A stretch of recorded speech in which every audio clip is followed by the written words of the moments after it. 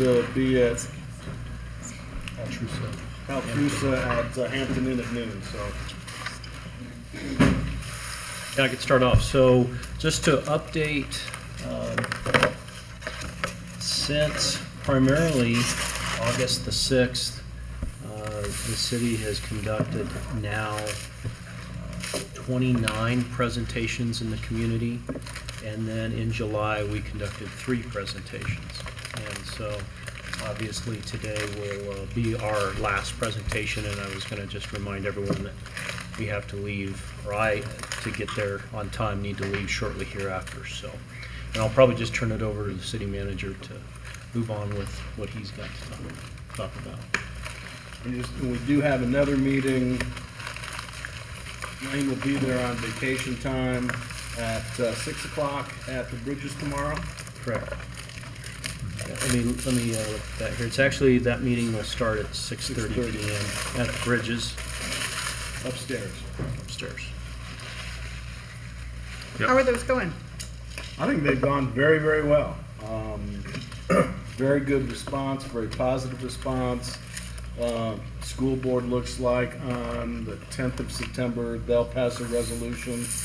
Um, got a real good feeling from the school board meeting. We'll see if it's unanimous. I've really enjoyed a lot of the questions. There's been a lot of uh, good questions that, you know, we've, we've been able to get out in front of to clarify rumors in the community, um, really hammer out uh, uh, just some of the misconceptions, I think, of public safety overall and some of the challenges that we've been facing.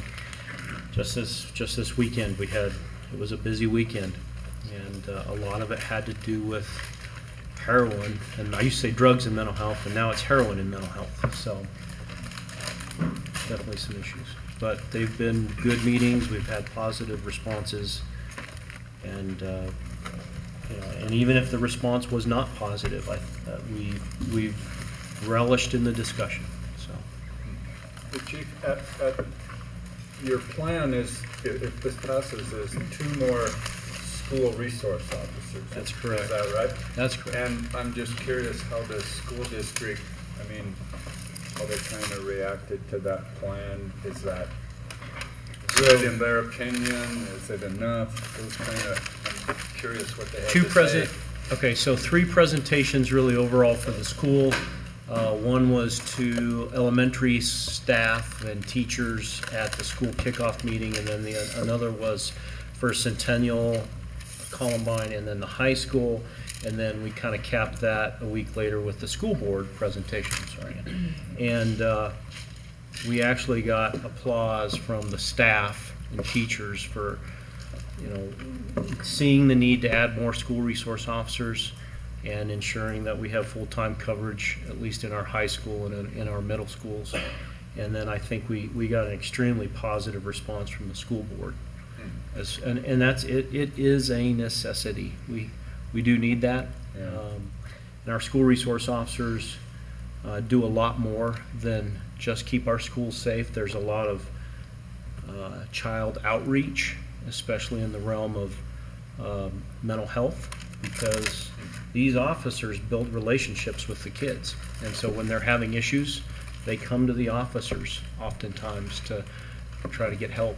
And so it's, Wow. it's, our school resource program has been an excellent program over the years, but we do need to, we do need to get more staffing in that area. Must take a special individual to It does. have that kind of It- rapport with It students. absolutely does. That's Yep, neat. Well, thanks, I was Thanks. just curious. thank you. So the other thing we wanted to talk about today was the ballot language that's on the council agenda for consideration this evening. And uh, Stephen and all of us as a team, Stephen did a lot of the initial legwork and then we all met on a conference call.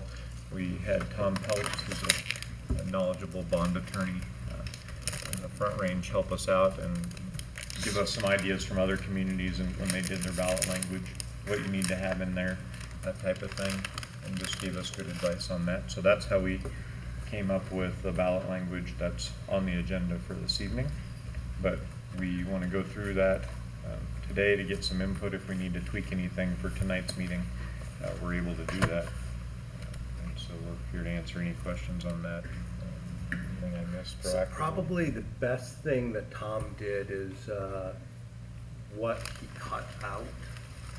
Um, I mean, granted, it was kind of sad seeing hours of work go away, but, um, but that's, that's part of being an expert is knowing what you don't want in there as much. I am um, very concerned that we have a svelte, streamlined uh, ballot.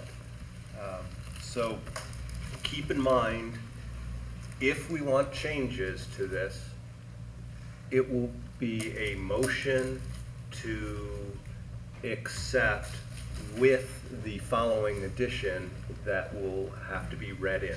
So, you know, it's, since this has been published, I can't, you know, go back to the office and then, you know, swap documents. Right. Uh, because we- everything has to be, you know, a- above board. Uh, I know that there was some concerns on uh, whether it should say uh, plural building or buildings. Uh, That'd be something uh, that we can discuss if, uh, if council's wanting uh, wording changes on that. Blaine and I would recommend changing it to police facilities. And then that solves the problem with singular building or plural building. So, I, I so had it would sent you read, some concern on the wording on that one paragraph also. so I think it would read something like funding costs associated with a public safety facility, including but not limited to lease purchase payments to provide facilities for the police department. So that's the last little dash, like the Yeah. fifth one down. Yeah. The Yeah. last bullet. And then there's two places that, that would need to be changed. If that uh, is what people are wanting, I can type up that paragraph, so if someone wants to read, it, you know, make the uh, motion with that amendment, they could just read that. Okay. And I think it does make sense, because we've been talking about potentially two buildings. Right. To just say one building, and it's conflicting already before we even. Yeah. Okay, let's have that ready. Yeah, let's, That makes sense. it does. I, want to clarify, I asked Stephen this earlier, and so I just, I'll ask him again, even though I know the answer. But when we set, I know our intention is to make sure the public understands that any sales tax generated from this would be above and beyond the current funding. And the idea isn't to pull a switch where we, we take the new tax and then decrease the funding. But by setting in that going forward, an annual amount not less than forty-three percent of the general fund, that can't be changed by council, that can't be changed by city manager, that's something people have voted on. And I just wonder if, going forward, let's imagine a scenario where we add a huge thing to the general fund, or we take something out of the general fund, we're gonna be locked into this no less than forty-three percent. And there's nothing we're gonna be able to do about it. And I just don't, I just wanna make sure that eight, fifteen, twenty years in the future, a future city council isn't, isn't cursing our lack of foresight. I don't, I don't have a solution, it's just a concern that the ballot language is so specific and doesn't something people vote on can't just be undone later. Do you know, do you know what I mean? So Barbara brought up as an example, say we, uh, this is how we're gonna start. Uh, Say we sell the golf course to the rec district. um, So then all the money that had been in the general fund that goes towards the golf course, all of a sudden, that is gone. Is So it this- part of the general fund? Yes, so, I mean, it, something non-related could throw that percentage askew. So, in that example, that wouldn't be part of the general fund, because that's a transfer. And so, general, that's why we have the language, general operational expenses. So we don't subsidize, Transfers aren't in there, capital fund isn't in there, I so thought we any were transfers aren't, subsidizing- they don't count. I thought we were subsidizing the golf course out of the general fund. It's a transfer to the golf Okay. course. So that, Not- that not wouldn't including be transfers in included in this Okay, thank you. calculation. That, that alleviates that. Transfers to the capital fund as well. Okay, So if we build a, in the future, a five million dollar whatever, and we transfer money from the general fund to the capital fund, that's outside of this calculation. That's Okay. why it's general operational expenses. Okay, that helps me understand that a little bit better. And are you, you must be comfortable, but I'm just gonna ask you, are you comfortable with setting a percentage of this? If you imagine the city manager fifteen years from now, is she gonna say, oh my gosh, why did they say forty-three percent? You guys like that? It might be over We're comfortable as long as we have the word operational in there. Okay, If it was general fund, then absolutely not. okay, so that is where my concern stemmed from, and that's the answer that I get. Okay. Because thank you. operational is wages, salaries, ongoing equipment, all those types of operational expenses. Where does it say that? Um, it's in But the our last transfers- paragraph right before yes, no. Is our transfers a set percentage? Does that percentage ever waver? Sure, every year it's different, based on the decision of council during budget. Well, if we have a, a, you know, just a real takeoff in the economy, and that forty-three percent expands considerably, what do we do with the excess? I mean, we're gonna carry money over for when the economy goes down? But if you're talking forty-three percent, that could fluctuate considerably over, over Sure. time. I, I brought that up at the last meeting, that I think eventually the PD is gonna have too much money. Look at the guy over here with a big smile on his face. Oh, That, I that's don't know the that I have a potential. big If the smile. economy stays good and gets better and better for the next thirty years, there will be more money than you could put into a police department. However, the terminology public safety includes a lot of things. And so public safety, Blaine and I were chatting about it, it's not only the building that PD goes into and new officers, but putting in crosswalks is also public safety potentially. Putting in lighting in our alleyways so they're safer for people who are walking in the dark is public safety. So if we get to that point where all of the building needs are met, all the staffing needs are met, and there's more money in ten years than the PD knows what to do with, the interpretation of public safety could get broader. Conversely, could we say that for the next ten years, the annual amount would be not less than forty-three percent? Sorry, No, go ahead.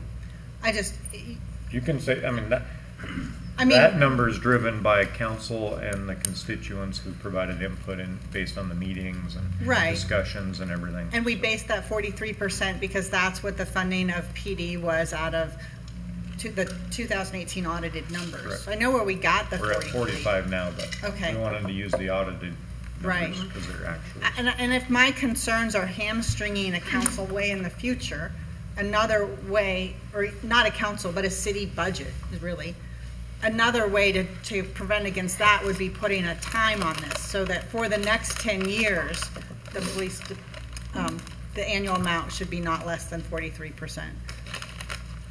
I think, just from what I'm hearing, and the mayor's been at all these too, so you could provide input, and Blaine. What we're hearing from the public at all these meetings, I think if you did a ten-year, the perception would be, well, it's starting year eleven, you're gonna not care about the Yeah. taxpayer anymore and Okay. steal all their money. Mm-hmm.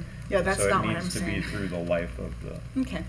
that's what I'm hearing. I don't know if Dave has a different. So they, No, I, I, I've heard the same thing. My, and I don't know that there's a way to put language in here, but I would suggest that if we ever got in a situation, within the next thirty years, if we ever got in a situation where the police department had quote unquote too much money, then we would start paying that building off early.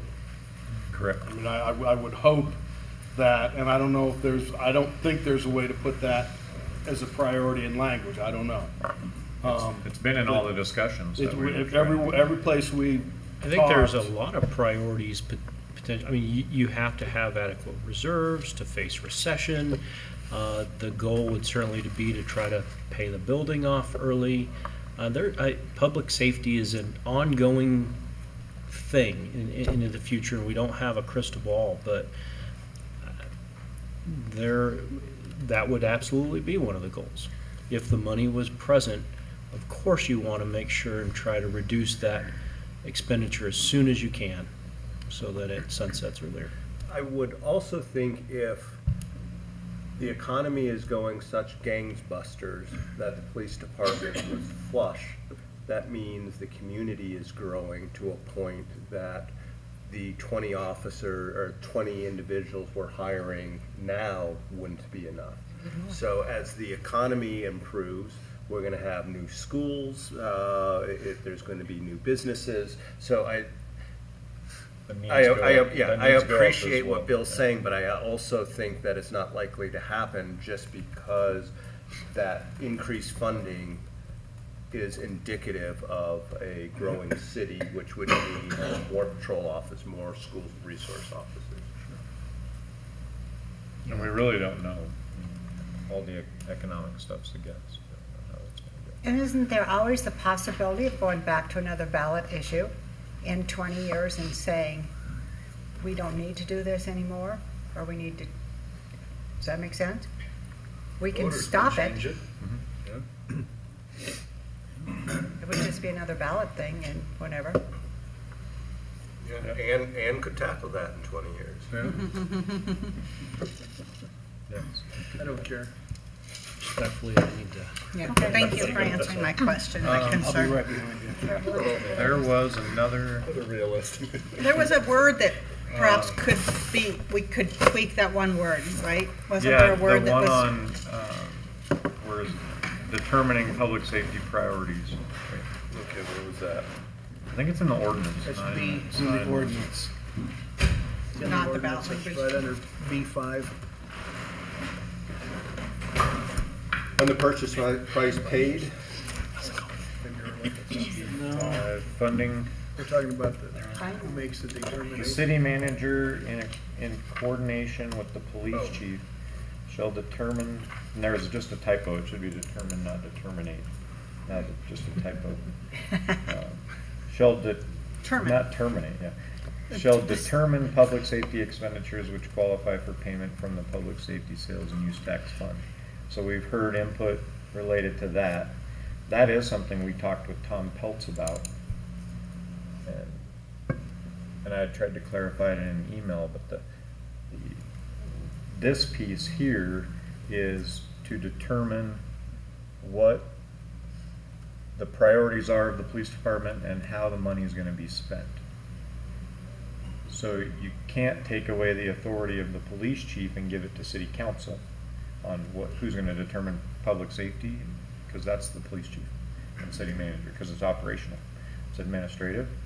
So that's the intent behind it, we can tweak the language, but at, council has the authority already by adopting the annual budget To- to set policy objectives and priorities and to determine when you set the budget, how that money is gonna be spent for the next year. And there was some recommendation about putting in dollar amounts, fifty thousand cap, which I think the fifty thousand came from how our current, Right. current code reads. No expenditure over fifty thousand can happen without council's, um, approval.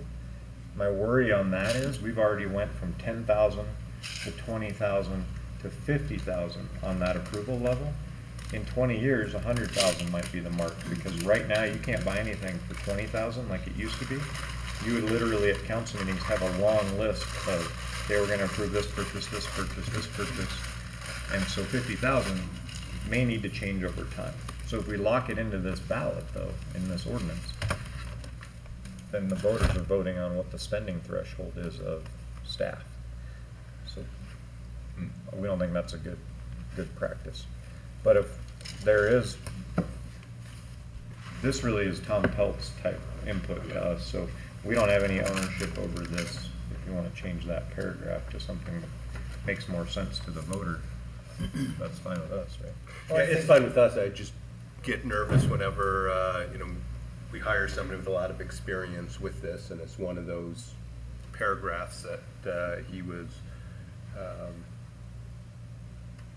pretty determined on, pretty determinate. Determinate. Uh-huh.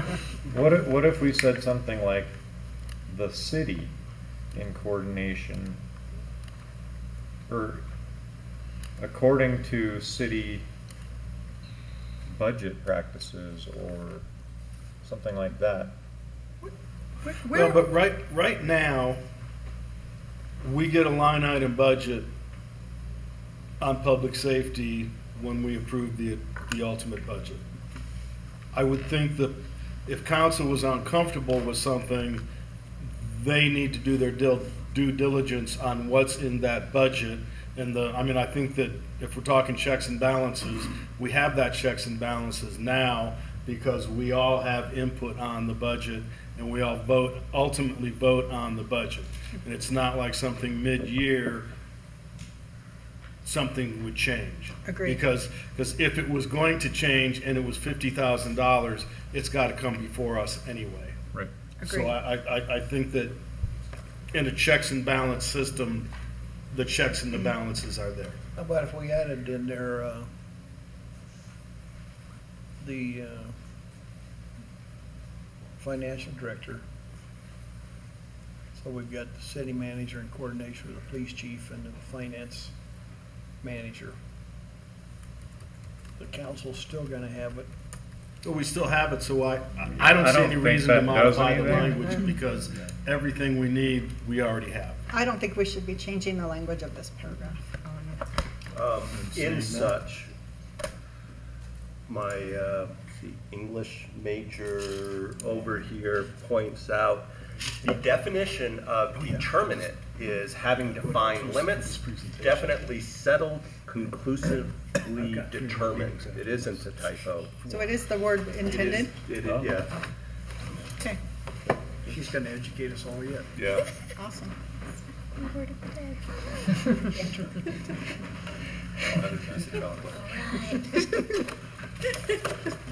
We'll see you all at the dark. Bye, Mary. and later after that.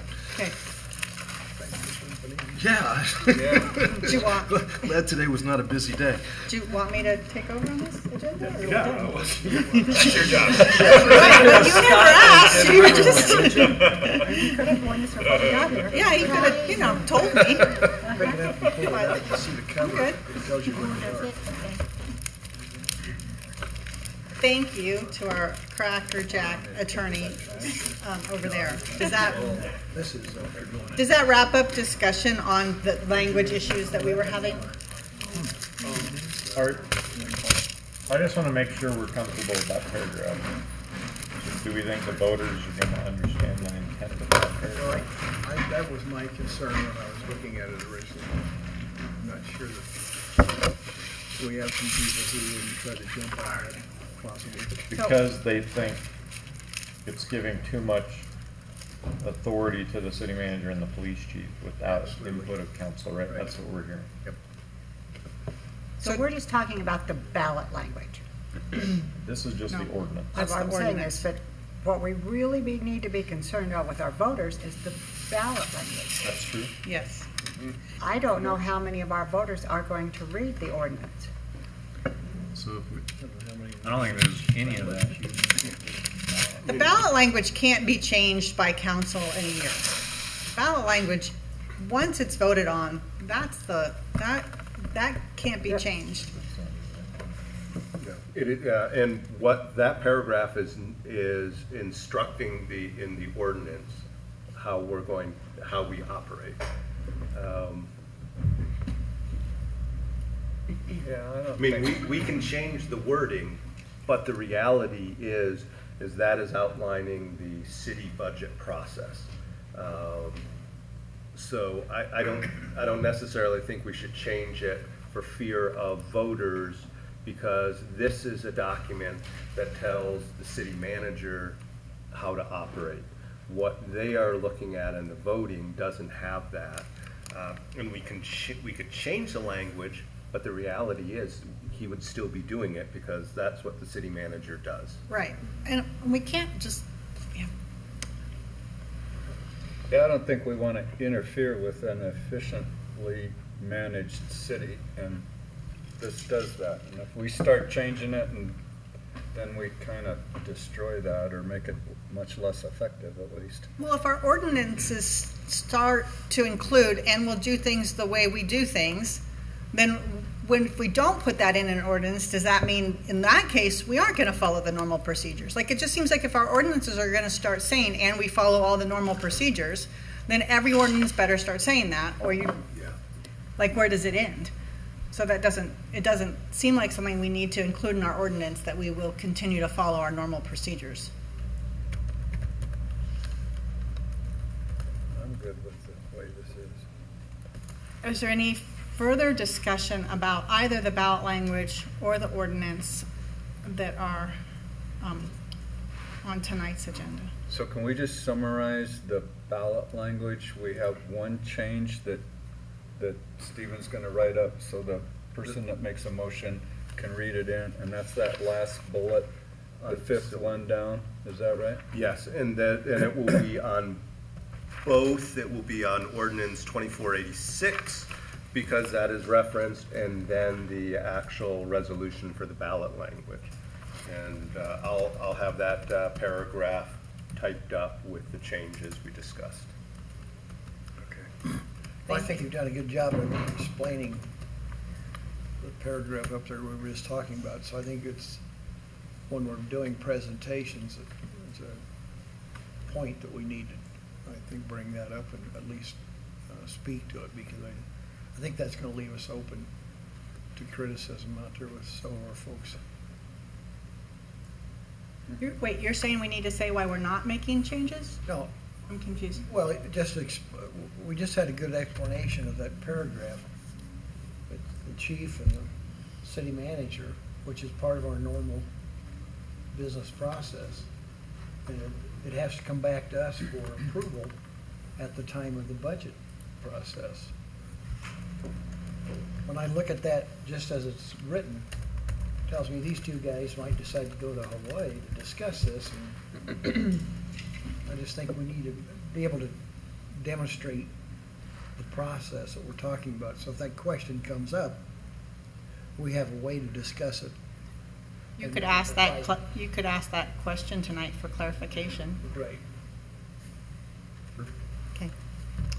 Anything else before we move on to the item B? You good? Okay. The Riverwood Estates Improvement District, an assessment of utility extension costs. City Engineer Scott Murphy, you want to give us an update on this and what's happening next? Thank you. So the, um, everybody here was, or I'm assuming.